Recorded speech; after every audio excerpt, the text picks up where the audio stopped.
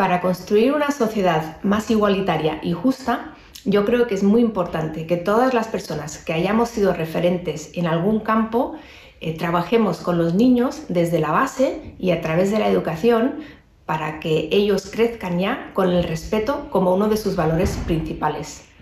Juntas construimos.